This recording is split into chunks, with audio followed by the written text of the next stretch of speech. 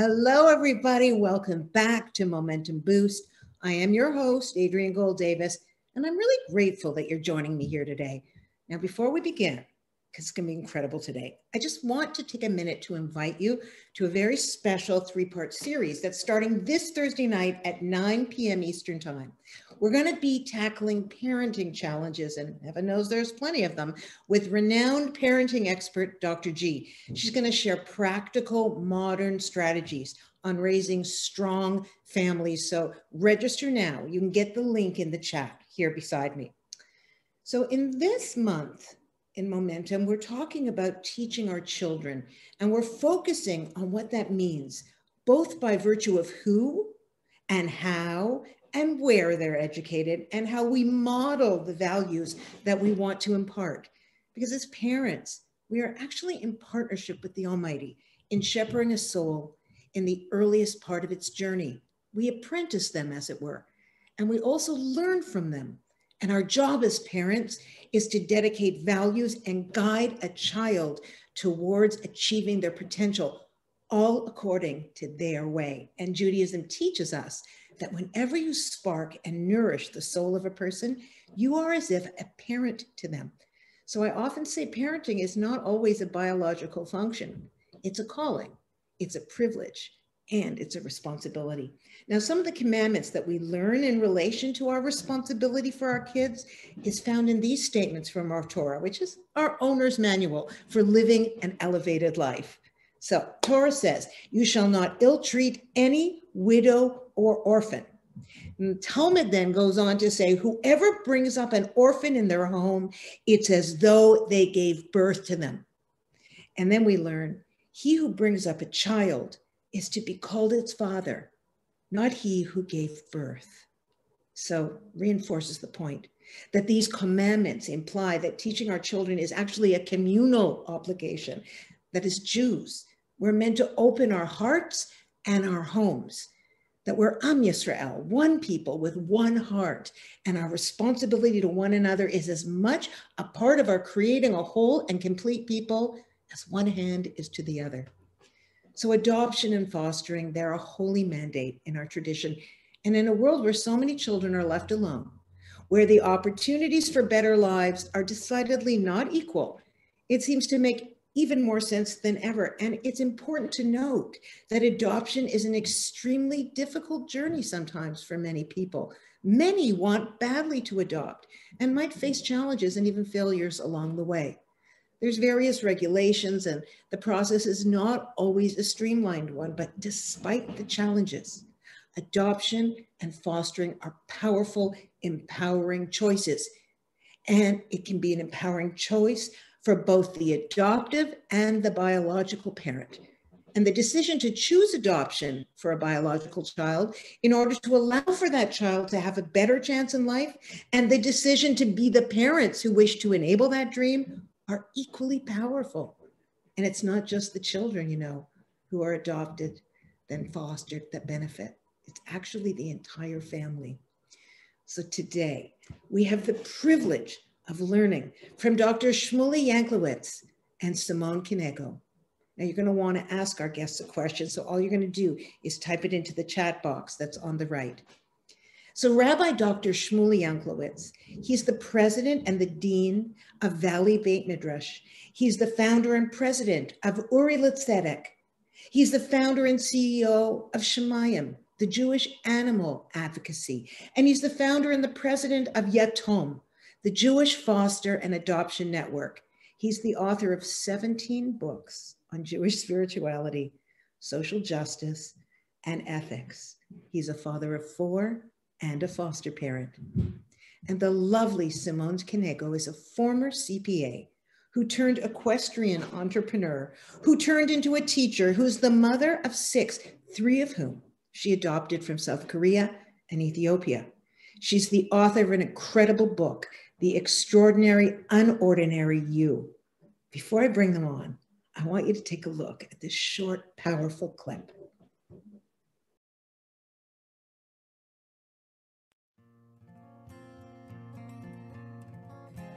There's a lot of things that keep me up at night, including little babies. but the issue among issues that kept me up at night the most has always been vulnerable children, children who are abused or neglected. Our tradition is about orphans. Baby Moses is raised outside of his home. Esther loses her parents and is raised by Mordecai.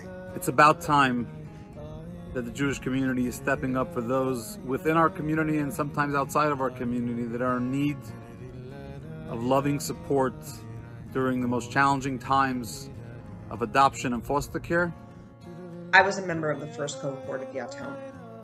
I entered the cohort as a single woman in grad school I was really only interested in private adoption at the time. I was kind of scared of foster care.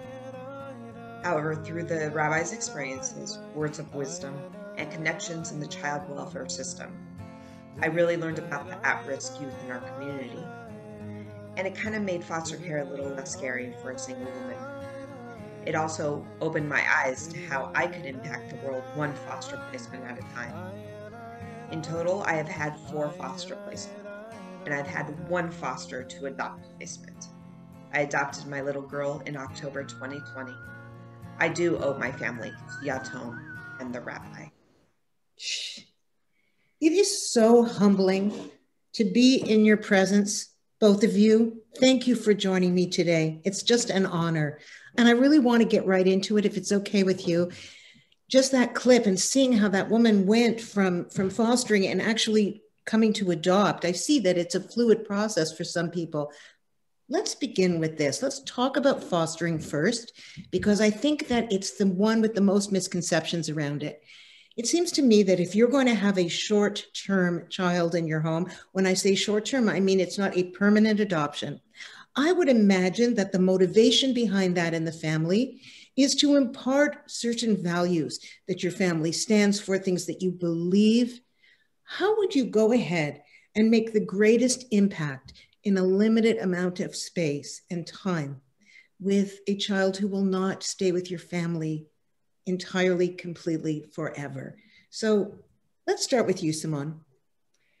So we fostered um, a little girl from, she was actually a student um, in my class and her parents had been arrested and they, she was 10 years old and she was put into a teen shelter. And as soon as we heard that, my husband and I both said, you know, we'd like her to come stay with us. You know, I think the most important thing for us is that we, she was completely part of our family. Everything we did, every decision we made, she was part of it. Um, you know, we have to remember that we have no idea, you know, where what these kids have been through, um, what they know, what they don't know. And for us, it was really kind of showing love, um, self-respect, kindness, everything that, you know, under, making her understand that she was important and she mattered and that she you know has value. And our kids you know completely embraced her as well. It, it, it was such a powerful thing for us. Wow. What about you rabbi shmuly? I, it seems to me i mean fostering is your gig right? I know simone you adopted three children but rabbi shmuly especially as a rabbi as a person who teaches jewish values what's your do you have an agenda going into fostering? Is it as simone says to show and give love and can a person receive love when they know it's only temporary just sort of fill me in on what some of those emotional states might be well, first of all, thank you for inviting me to this amazing program. And, um, and Simone, it's inspiring to learn from you. And this is a, a, topic very close to my heart, especially what you're raising right now. Indeed, the hardest part for our family is always not absorbing the child, and not the late nights um, or the night terrors or whatever. It's when they leave. It's when they leave um, because we don't always know that they're going to uh, a place that um, will be safe and loving for them. And that's very hard because when you have a foster children in your home, you raise your biological children in the same way you raise them by and large, and you treat them with the same love as if they're one of your children. And then immediately they can leave at, at a moment's at a moment's notice. And so the, the values we try to teach, because we foster young children, are not the spoken ones as much as the unspoken ones, the feelings of trust, the feelings of love and respect, the patience we strive to demonstrate on our good days, um, and you know, being present and responsive, and helping them to rebuild their inner core that they can trust people, they can receive love, um, and that their love can also be received. And so it is. Oh, sorry. Go ahead. please, no, please, no, please, go ahead. No, no, no. I interrupted. It was rude. Go ahead, please.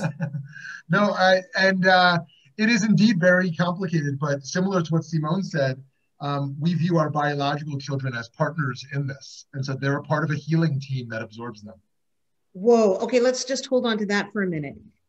Simone, tell me, how did your children, you, your your children were on side like Rabbi Shmuly's are when you brought in this young woman? And how did you get them on side? What kind of things do you say? What is the value that you are trying to teach them and model for them? So I think it's really um, so important to take a look at just how we raise our kids on a, on a daily basis, the kind of respect we show to them, the kind of respect that they show to us. Um, we didn't have the opportunity to tell the kid like this happened in literally a moment's notice when she when they were able to bring her over. We already had a home study in place from our last adoption. And so when we said that um, we'd like to open our home um, she was there three hours later. So basically the kids got home from school and i said to them um, you know this is what's happening. And the kids were like that's amazing. We have a room for her. And then they saw her walk up to the house and she was carrying um, a cardboard box with a few items in it. And that was the moment where it became real and, and they were young, but it became so real for them. And they said, Mom, can can we go to the store? Can we let her pick out her own bedding so that she feels like she has something that she chose? Um, can can we get her more clothes? You know, all of these things where, you know, that's what the, the kids like notice. And to me, that was a moment in time where I was like, okay, you guys got this. Like they really understood you know the power of community and the importance of family and caring for other people. Oh, is that your experience too rabbi shmuly with your you know with your children your biological children? Absolutely. They fully embrace this um, in in every possible way. Of course there are many challenging moments but they uh, learn that life is about service and that service is included in the home and that children are going to arrive, they're going to touch their stuff, they're going to be noisy, it's going to be hard, but they know they gain more than they lose by by investing in those relationships and, and partners in that. Is there ever any hostility? Let's say a child who comes as difficult, is not integrating properly. What what do you teach them when?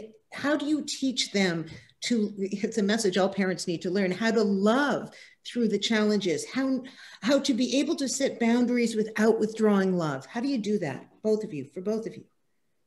Yeah, I mean, I think for for us, if we, you know, again, we we only fostered um, one time, and obviously we adopted three times, but you know, having them in the moment, understanding these you know something that we want to to teach them. And moments are tough. I mean you know especially like when i think the hardest thing is when a child knows that they're about to leave right? So like um, towards the end of the time period that we had this little girl with us when we got closer to the end she started fighting back a lot more. And i'm sure it wasn't because she was upset. It has nothing to do with us, right? It has to do with the unknown of what's coming for her. Yeah. So everything we did was really kind of, you know, bringing her back to those moments and having the other kids understand, like, hey, we all have our moments, right? Like this is, it's working through something and just showing the patience. I mean, that's the biggest thing and understanding again that we have no idea where she started, what idea, no idea what she's been through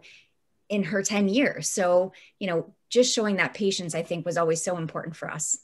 That's that's beautiful. I'm curious, Rabbi Shmuly, do the kids ever say you're nicer to the foster kids than you are to us? Well, the way the area that comes up, and to be honest, this is the most challenging part for me, is when bedtimes overlap. Uh-huh. And our children are good sleepers uh, because thank God they haven't had a life of trauma. Right. But children who have been traumatized and arrive in our home are very afraid of the dark, have a lot of time falling asleep. And I oftentimes have to spend a lot of time with them, getting them to sleep in a way where my children, I can hear sometimes crying outside the door for me. And I feel horrible. Like, where are my obligations to my biological kids, my foster kids? And they can feel like I'm giving more time or energy there, not always understanding why it's more challenging for them. Um, so that would be one of the challenging cases. But in general, they tend to feel that they deserve more, understanding um, a, a little bit of the context of where they came from. You know, somebody just asked on the chat function here, why do they have to leave if they're getting along so well in your house? So let's talk for a minute about the difference, the purposes and differences between fostering and adoption mm-hmm. and um, why this short-term system, this stopgap system has the potential to be, you know, very nurturing, but isn't ultimately the, the job of fostering to lead to adoption or are some foster children in temporary placement because the parents who love them very much are not able or well enough to look after them? Like for example simone in your case what happened with that girl?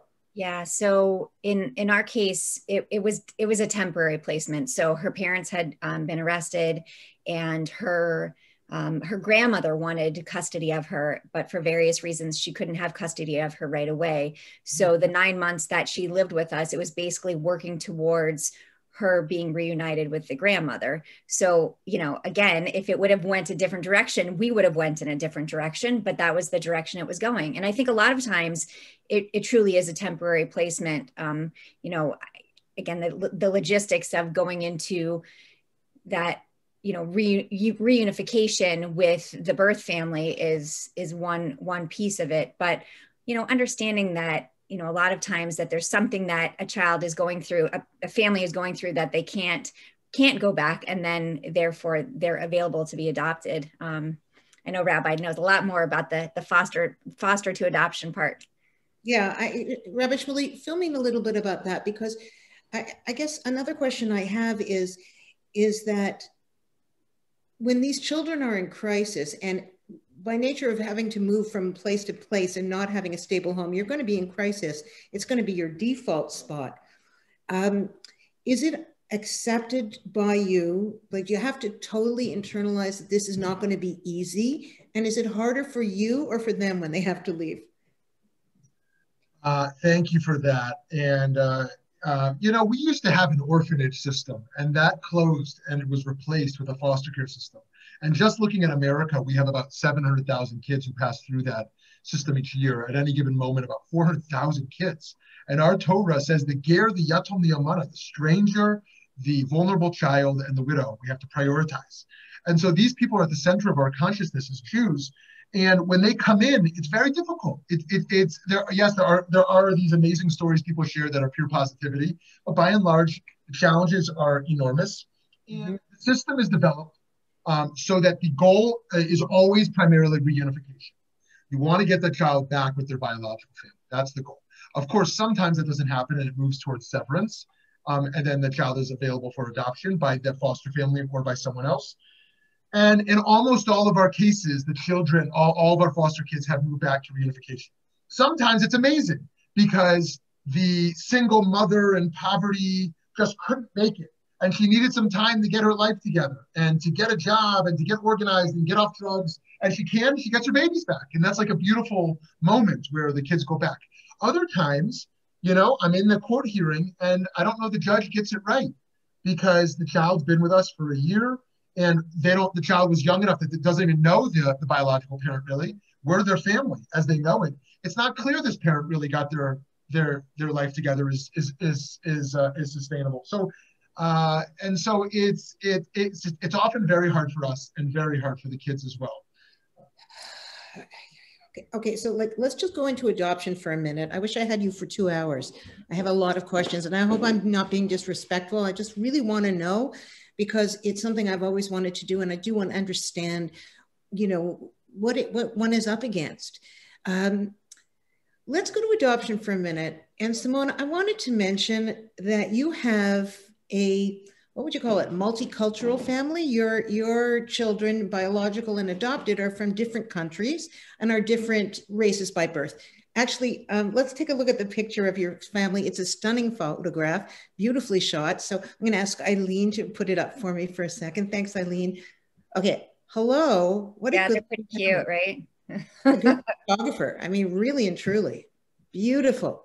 Okay Thank thanks. Okay, so now that we have the nachas looking at them, just tell me a little bit, especially in these times. I spoke to you personally about oh, about eight months ago when the whole racial thing exploded in America, and understandably so.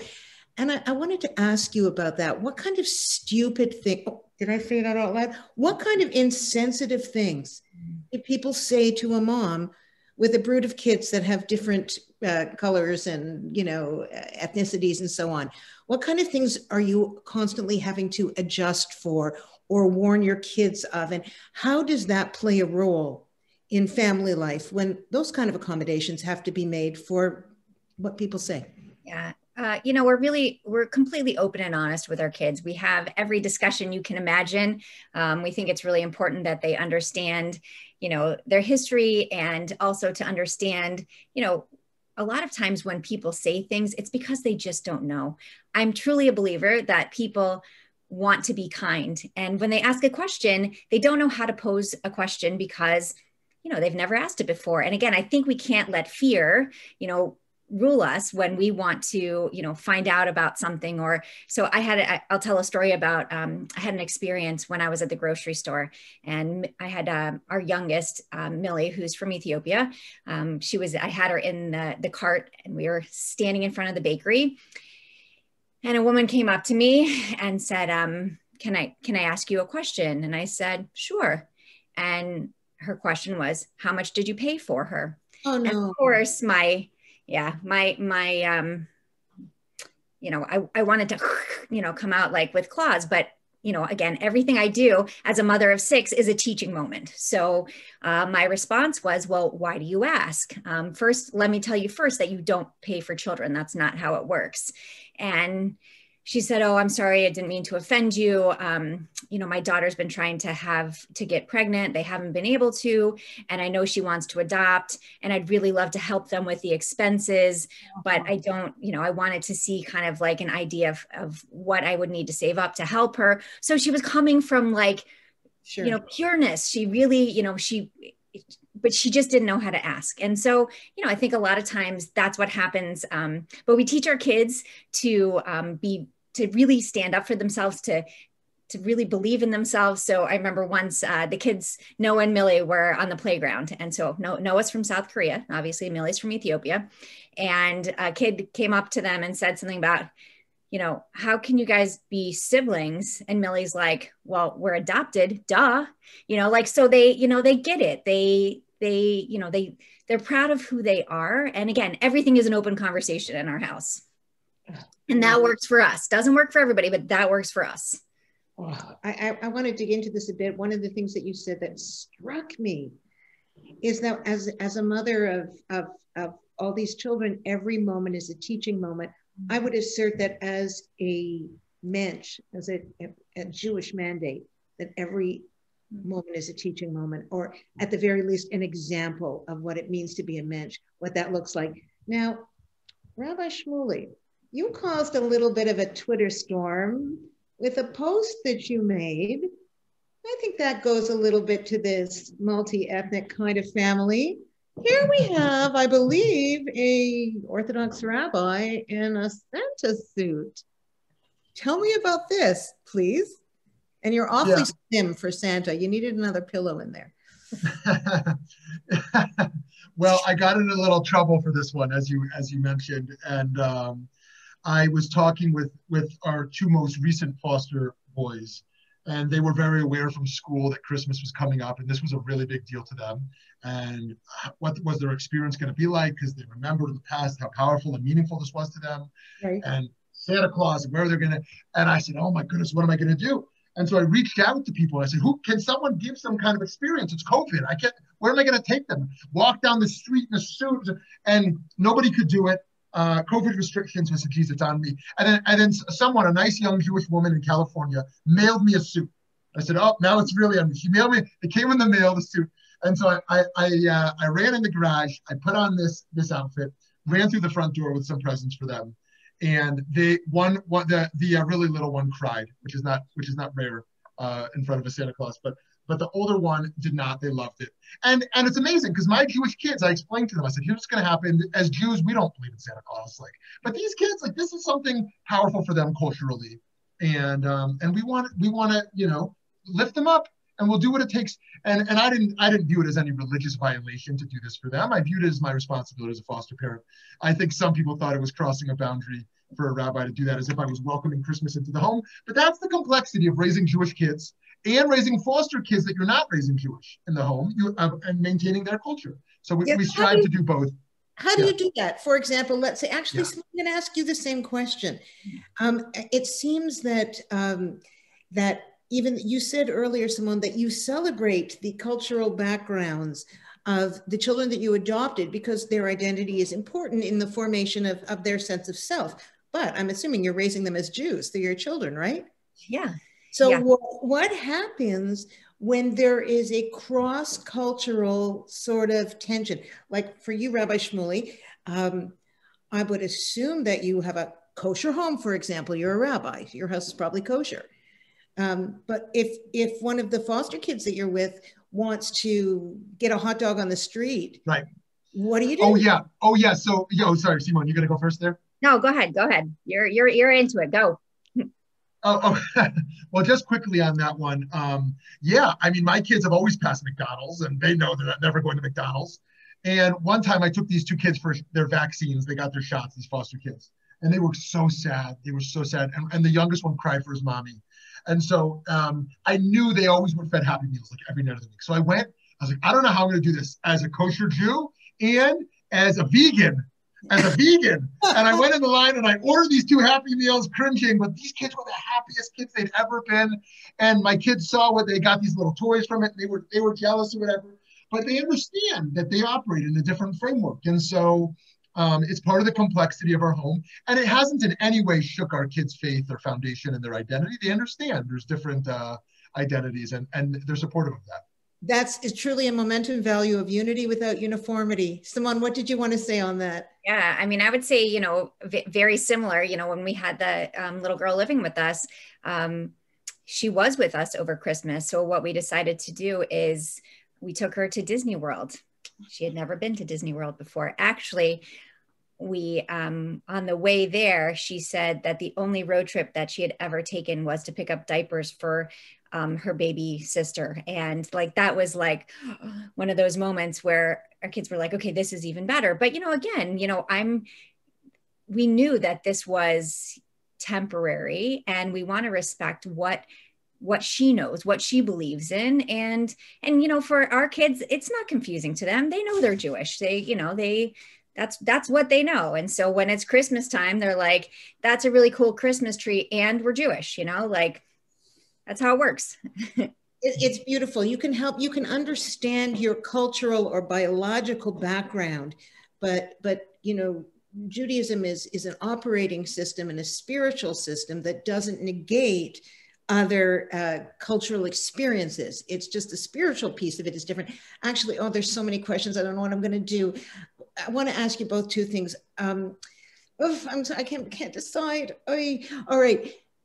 For you, Rabbi Shmuly, how do we get involved in this either as adopting or fostering and what's your trajectory a and the b of it is um, how do you help other families i mean families like simone or other families who are in the weeds of it if we're not going to do it ourselves what can we do not to be beautiful, beautiful. just very very briefly and, and, okay. and what we're doing at yatom yatom.org if you want to pursue this, we have a family fellowship where we found the three biggest barriers people had who wanted to do this were financial, not having a community, and not knowing what to do. So we create a family fellowship, and that gives a stipend to the families to help to uh, financial costs. That gives them a micro community they can process with, and that gives them education uh, as to how to navigate the system. Those who have already done it, they are currently foster parents or have already adopted and they're financially struggling, we have a micro grant program where we offer uh, financial support to, to such families. That's for those who want to pursue it themselves. If you if this is not for you, you're inspired by the vision of caring for the ghetto, um, but this is not for you or not right now, our Jewish community can do more. We can offer communal babysitting support for these families who can be overwhelmed and need and need help. We can we can help to be a part of a welcome team when these kids arrive. You know, in the community I'm in, when someone has a baby, a biological child, sometimes the community prepares meals because it's harder to prepare meals. I never, we never got that as a foster family. It's, it's just as hard in many ways, aside from a, uh, the mother's recovery, of course. Um, and so sometimes preparing food for families who are absorbing new children.